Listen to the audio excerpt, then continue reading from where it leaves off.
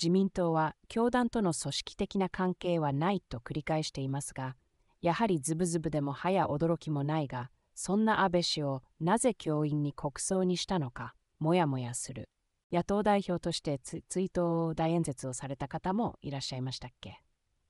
安倍晋三氏と旧統一教会会長自民党本部で選挙支援確認し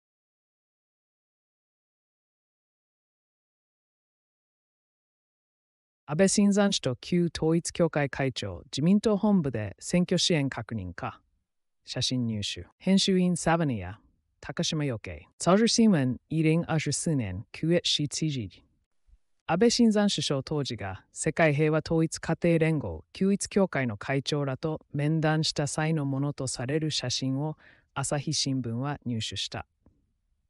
時期は2013年参院選直前。場所は自民党本部の総裁応接室だ。自民党が組織的な関係性を否定してきた教団との間のトップ同士の面談。背景には何があるのか。複数の写真が今年初め、朝日新聞の情報提供窓口に寄せられた。1枚は安倍晋三氏と共にスーツ姿の3人の男性が並んでいる。背後の壁には歴代の首相の肖像写真や日本画が飾られているのが見える。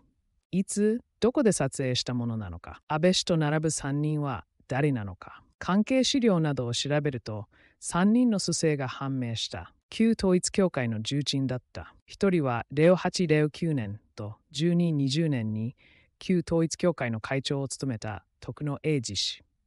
もう1人は1317年に教団友好団体で保守系の国際勝共連合の会長だった太田光良弘和氏。